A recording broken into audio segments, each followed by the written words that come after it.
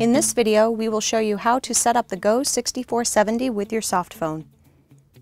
In this setup, you will need computer, Go 6470 headset, Go 6470 base, USB cable, power cable, electrical outlet.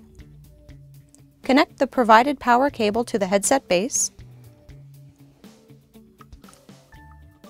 then to a working electrical outlet.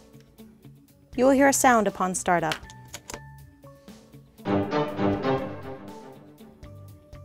Choose the desired language on the touchscreen base and continue through the setup by touching the arrow. Dock the headset to the charging base. In this video, we will be discussing softphone installation only.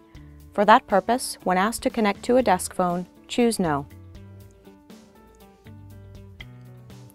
When asked to connect to a PC softphone, choose Yes and move forward with setup.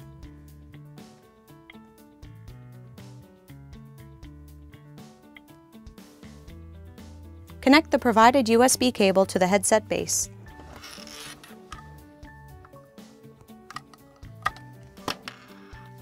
Then directly to your desktop or laptop computer.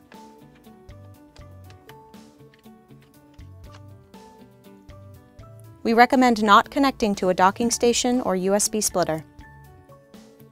Choose the softphone vendor you will be using from the provided list. If yours is not available, choose Other. Move forward with setup and choose No for the remaining mobile phone and other options.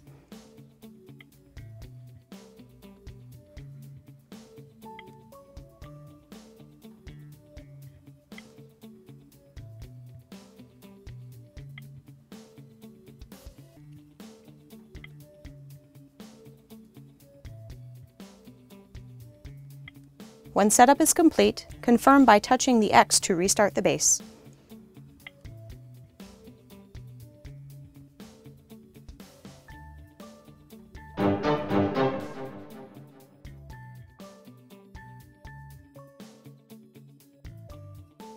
For more information, please visit jabra.com/support. Thank you for watching.